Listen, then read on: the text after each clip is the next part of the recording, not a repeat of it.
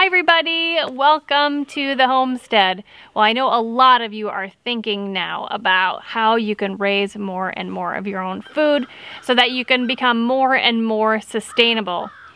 Well, chickens are a fantastic thing to start raising to become more sustainable and to grow and raise more of your own food for eggs and for meat.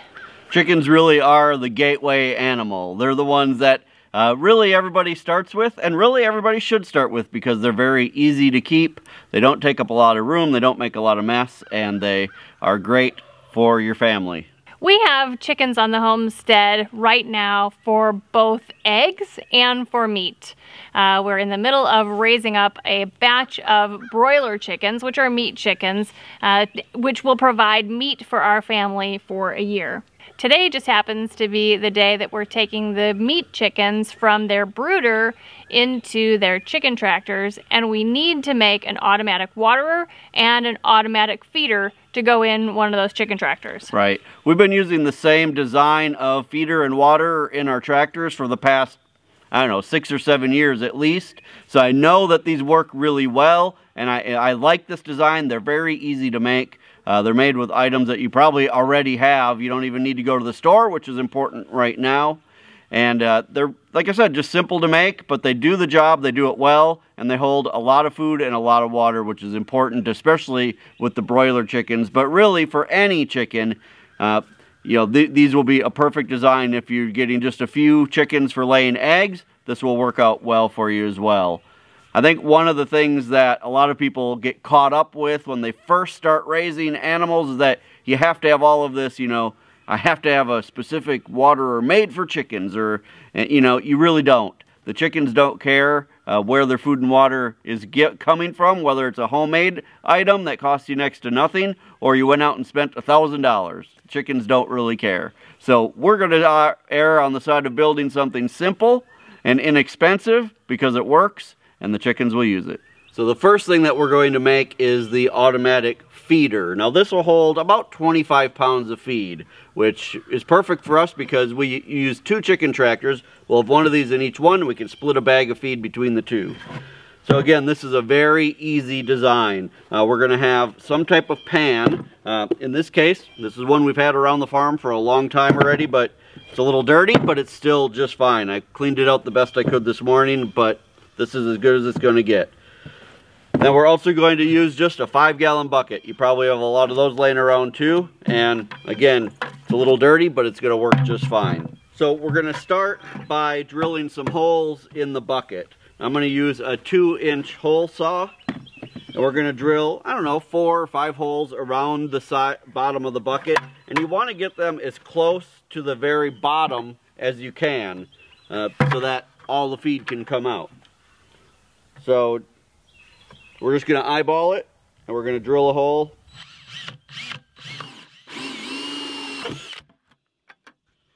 Now we're to drill several more of these all, all the way around it and then we'll be ready to connect it to the pan.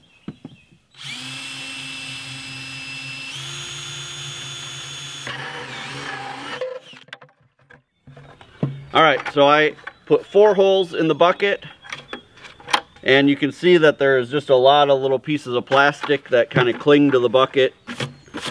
Try to get as much of that off as you can because otherwise it'll just get in the feed and your chickens will eat it.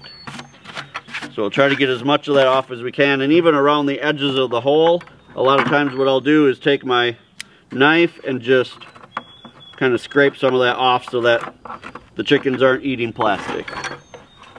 We'll just get as much of that off as we can and then we'll be ready to attach this to the pan.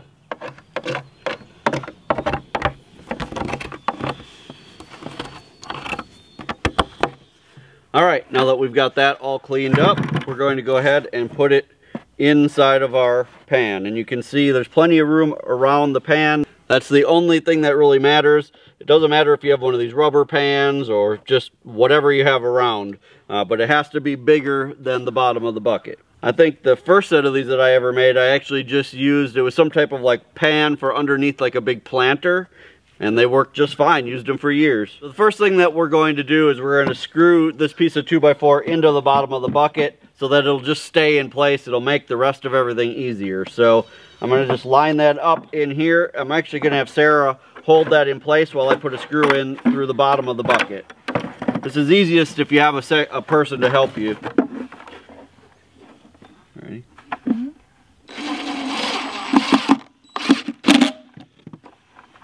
There. Now that piece of 2x4 is just secured to the bottom of the bucket, which makes it easier to work with because it's not constantly falling out. So now from here, we'll just flip the bucket upside down. We'll take our pan and we'll put that on. Make sure it's pretty well centered. Doesn't have to be perfect, but close as you can get it makes it look nicer. And then we will take our screws with our washers on and we're just going to drill those through the bottom of the pan and into the 2x4.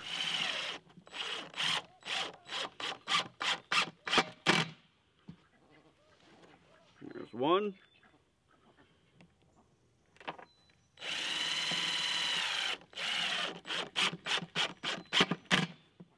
And there's two. And that's all you need. Now when we flip this over, we've got a nice feeder all made for the chickens. You'll just put a cover on so they can't get up and poop inside of it and this will be perfect. All right, so now it's time to make the automatic waterer. This is even easier than the feeder. Again, all we're gonna use is one of these rubber pans, a five gallon bucket, and a lid. And these, again, are, are super easy to make. So we're gonna start, we'll put the lid on. We're gonna flip this upside down inside of the pan. Now we need to de decide where we want the water level in our pan. Uh, obviously you don't want the water level to be higher than the pan because the water will run out. So what I like to do is I take my drill bit and I kind of go straight across and that gives me a visual of where the top of the pan is on the bucket and then I like to go about an inch or so down from there and we'll drill a hole through the side of the bucket. This is where the water will come out and fill up the pan. Now in my case, we're going to want the water the water level right where this ridge is on the bucket. So I'm going to uh, actually drill a hole right through the ridge of the bucket. And we'll actually drill two holes, one on each side of the bucket, and that's all we have to do. Now I'm going to drill a half inch hole doesn't really matter uh, if you use a smaller hole. I wouldn't go much bigger than that, but if you use a smaller one, it'll still work. It'll just come out slower.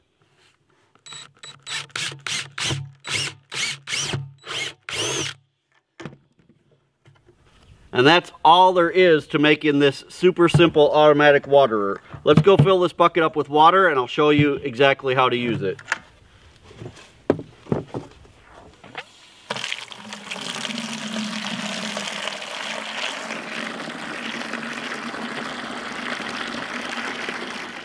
All right, so I filled the bucket up with water right to the bottom of the holes that we drilled, and now we'll just flip it upside down. Now you do want to make sure you have a lid that fits pretty tight, but it doesn't have to be one of those with like the rubber gasket and all of that.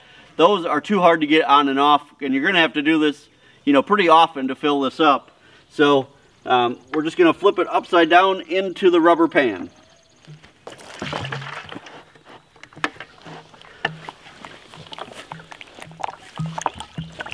Now the water is just going to run out of the bucket to fill up the pan. And when it gets to the level of where we drilled the holes, it'll stop coming out.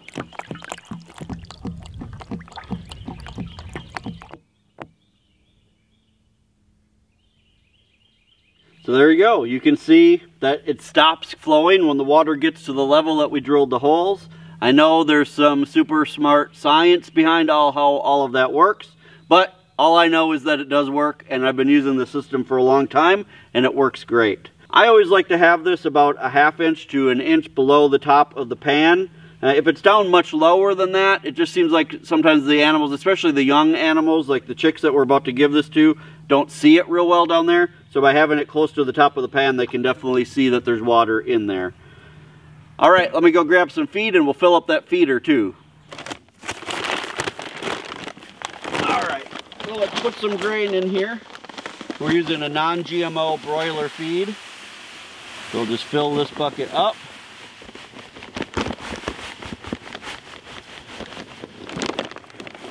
We'll just put our lid on here as well.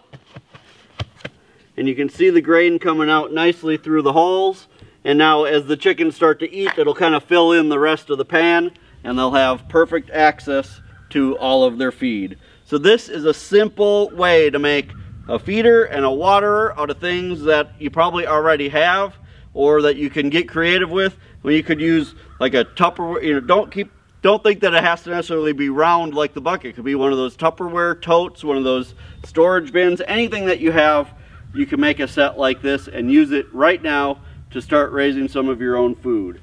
Now that we've got these done, we're going to start moving the broiler chickens out of the brooder and into their chicken tractors. All right, hey, this food isn't for you. You see what's going on here? They're to try to steal the feed from the broiler chickens. Actually, just a minute ago, I still had the waterer set up over there and the ducks were drinking out of it. So, all right, we're gonna put the feeder, I always put the feeder on the end mostly covered. So we're gonna set that in and then I always put the waterer down on the end that's more open because obviously it doesn't matter if it gets wet.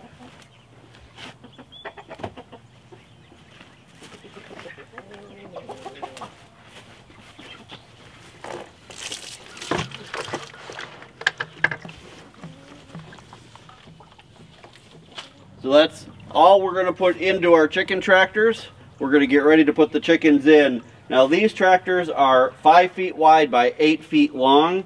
If you want to know how to build these, I did a series on how to build these about a month or so ago. Go back and check that out. Uh, but these are how we're going to raise our, our broiler chickens this year. We've used chicken tractors for quite a few years now, but this is the first year that we've made this new design, and I think this is going to work out really well. All right, let's start bringing the chicks out. We're gonna put 25 in each tractor. We're raising a batch of 50 right now, and so 25 in each tractor. The broiler chickens are four weeks old right now. Normally we move them out to the tractors at three weeks old, but because we started them over a month early this year, it's colder and wetter than it would be normally when we're raising them, so we left them in the brooder barn for an extra week.